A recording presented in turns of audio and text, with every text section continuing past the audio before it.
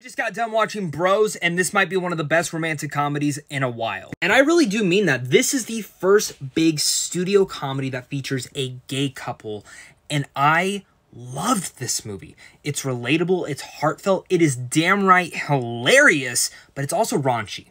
And we don't see a lot of raunchy comedies nowadays, and this is probably one of the best romantic comedies and just comedies in general since 2019. But when it comes down to raunchiness, this kind of reminds me of the Forgetting Sarah Marshall days, which is actually, this movie is actually directed by the same exact guy. So at the end of the month, absolutely check it out. I'll be interviewing these two stars. If you have any questions, let me know down below. But the big thing I must say, buy your tickets now and make sure to support this film because we need more raunchy comedies in Hollywood, guys. We can't miss out on these. I miss